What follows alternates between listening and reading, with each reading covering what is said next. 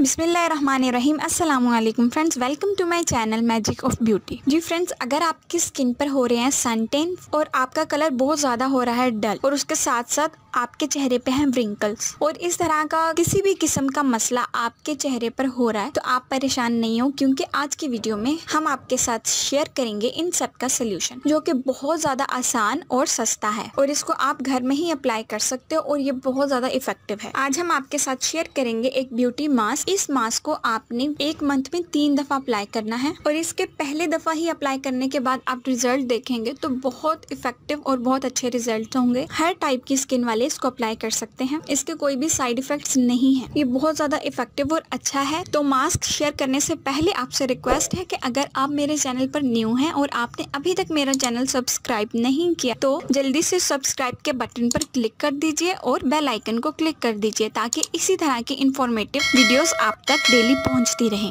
इस मास्क को बनाने के लिए जिन चीज़ों की हमें ज़रूरत है, उसमें जो मेन इंग्रेडिएंट है, वो है कॉफ़ी कॉफ़ी सिर्फ़ पीने के लिए ही नहीं, बल्कि लगाने के लिए भी बहुत ज़्यादा अच्छी है। इससे आपकी स्किन जो है वो बहुत ज़्यादा फ्रेश हो जाती है। आपकी स्किन के सब डेड पार्टिकल्स जो है वो इससे खत्म हो जाते हैं और आपकी स्किन बहुत ज़्यादा ब्राइट एंड ग्लोइंग हो जाती है। सबसे पहले हम बनाएँगे कॉफ़ी से अपना क्लेंजर आप कोई भी फेशियल अप्लाई कर रहे हो, कुछ भी अप्लाई कर रहे हो तो सबसे फ़र्स्ट पॉइंट जो आपका होता है वो क्लिनजर होता है। क्लिनजर जो होता है वो आपकी स्किन को क्लीन करता है। इसीलिए सबसे पहला स्टेप जो है वो क्लिनजर रखा जाता है। अगर आप क्लिनजिंग अप्लाई नहीं करेंगे तो आपका फेशियल जो है वो आप पे इफ़ेक्ट नहीं करेगा। तो कुछ भी अप्लाई करने से पहले आपको अपने स्किन को क्लीन करना पड़ता है और उसके लिए हम क्लिनजर यूज़ करते हैं। तो कॉफ़ी से क्लिनजर बनाने के लिए हमें जिन चीज़ों की ज़रूरत है, उसमें सबसे पहले आएगा वन टेबल स्पून कॉफ़ी और जो दूसरा इंग्रेडिएंट हम इसमें यूज़ करेंगे वो है एलोवेरा जेल और वन टेबल स्पून ही आपने एलोवेरा जेल इसमें ऐड करनी इनका अच्छा सा मिक्सचर बना लेना है और इससे आपने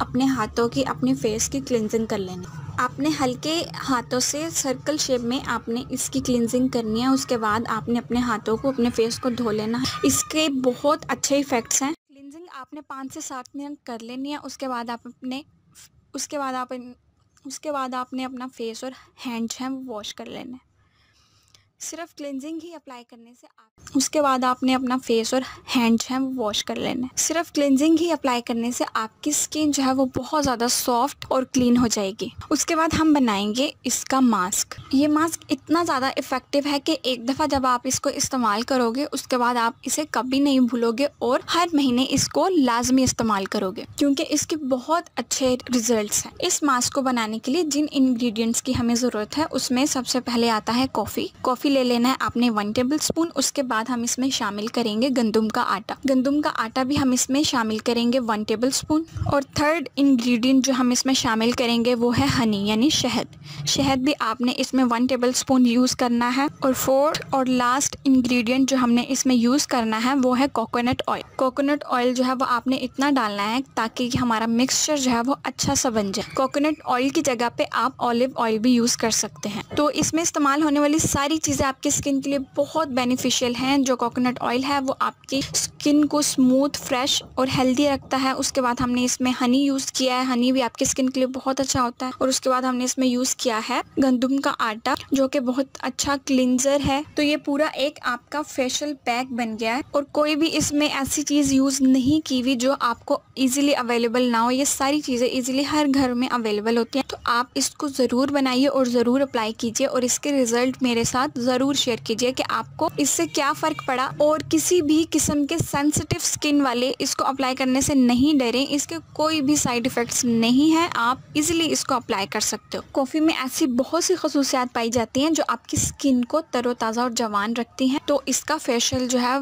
आप ज़रूर अप्लाई कीजिए। आजकल तो ऐसी फेशियल की प्रोडक्ट्स आ गई हैं जिनमें मेन इंग्रेडिएंट के तौर पर कॉफ़ी को यूज़ किया जाता है। तो ये तो आपके पास एक प्योर पैक बन गया है, जिसमें कोई भी केमिकल्स वगैरह ऐड नहीं है, बिल्कुल प्योर है। तो आप इसको ज़रूर ज़रूर इस्तेमाल कीजिए और इसको अपने फ्रेंड्स के साथ भी शेयर कीजिए। उम्मीद है आपको ये वीडियो अच्छी लगी होगी। अगर आपको वीडियो अच्छी लगी है तो मेरी वीडियो को लाइक और शेयर ज़रूर कीजिए। थैंक यू अल्लाह हाफिज़।